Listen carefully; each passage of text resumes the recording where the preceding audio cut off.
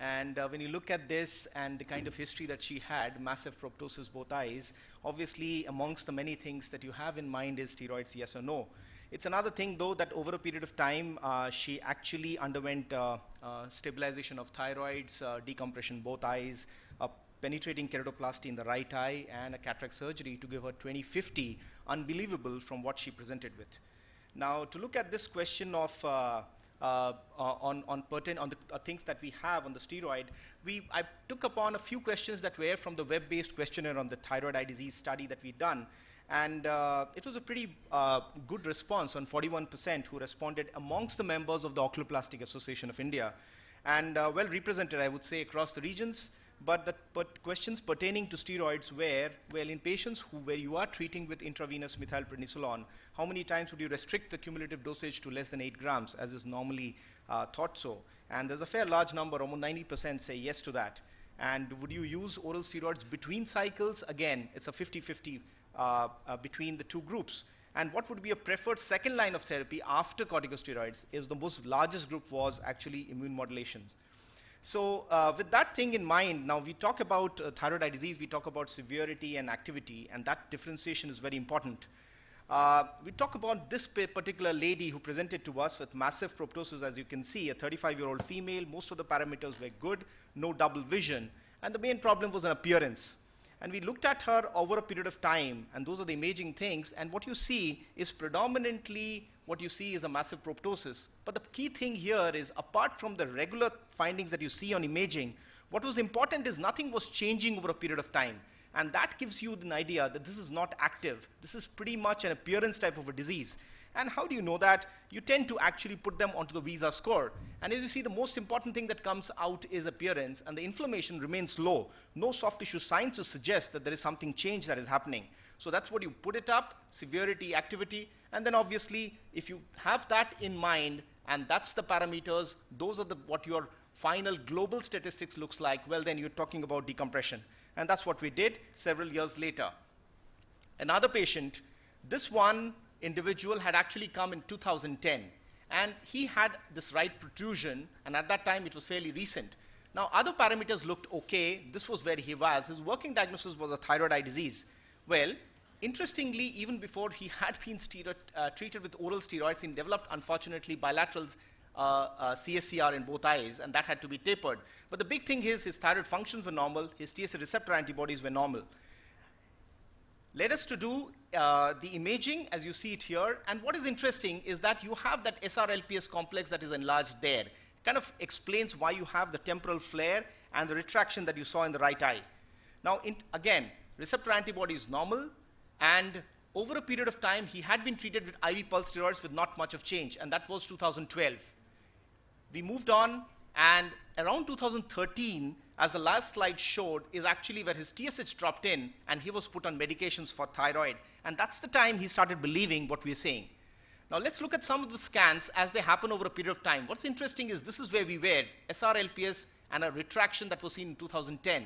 Pretty much same at 2011 look at 2014. What has changed is apart from this, you also have the MR and definitely a large inferior rectus that has developed over a period of time. But this is when, again, we did the grading and the severity, and he looked pretty much when nothing more was happening to his eyes, and he was concerned about his, his appearance, and the appearance was the proptosis that was there, and he underwent a decompression. That's before and after. Let's look at this individual. Now, this individual was a chronic smoker. He was an Eltroxin and hypothyroid and Eltroxin when he presented to us. These are the parameters. Again, the vision, inflammation, strabismus. Now, don't go with the strabismus. This is the restriction showing us 3 out of 3. He was not elevating at all. So that also come in this global scale. And appearance was not so much an issue. Activity, well, on the soft tissue signs and all, he seemed to be changing. And that was inflammation 5 out of 10. Now, what would you do? Obviously, stop smoking, the first thing that you do, take care of the thyroid function things and intravenous steroids. Now this is what he was after four cycles of IV methylprednisolone given at 500 milligrams per week. And he's still pretty much at 6 out of 10. Every time we would give an IV methylprednisolone, he would come down two, three days, he would come back, back to where he was. We didn't know where we were going. What do you do next? His pressures, intraocular pressures were pretty much there. What do we do next? Options, well, radiation, immune modulation, rituximab, any of the adjuvants that you could think about, but not without steroids. They're all combined with steroids. Now, this is after radiation, and he finally settled out of 2 out of 10. Good result. Over a period of time, he's done well.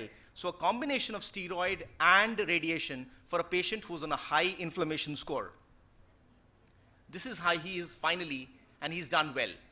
This is another individual, again a smoker, and he's had this issue apart from the ESO that you see, high intraocular pressures, poor vision, disc edema. He was a dysthyroid optic neuropathy. Now this is where he's developed over a period of time, he's active, vision threatened, so obviously on the, on, the, on the scans that you see, there is a clear crowding that you see, effacement of the orbital fat at the apex. You put him through the steroids, the regular thing, whatever regimen you follow, and you see the immediate change in the vision and a very good restoration of visual function.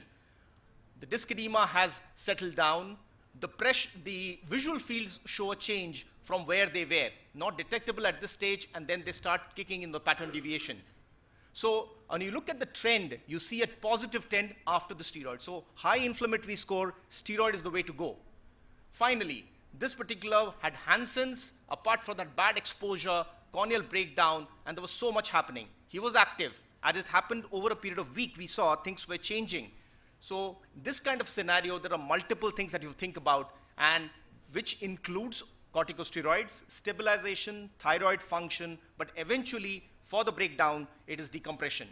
So this is how he is. Several years later, he's actually got 20/40 vision in the right eye, and were multiple procedures done there. So coming back to the question, yes or no, or thyroid eye disease, what you need to do is put them through the either the CAS or the VISA, whatever you follow. But the big thing is that will give you an indication or whether you need to do, uh, treat them with steroids or no. So put on the gr severity grade, put on the activity, and that gives you the answer to the question. Again, on the severity, how many on the, on the poll that was done, there was a fairly large number who were doing the VISA and this is both the activity and the severity. So the fairly large number either followed VISA or the CAS. So that gives you kind of the answer. And based on vision, inflammation, strabismus, and appearance, a steroid remains one of the main modalities of treatment. And the way to go is to grade them and stage the disease based on either VISA or the CAS. Thank you.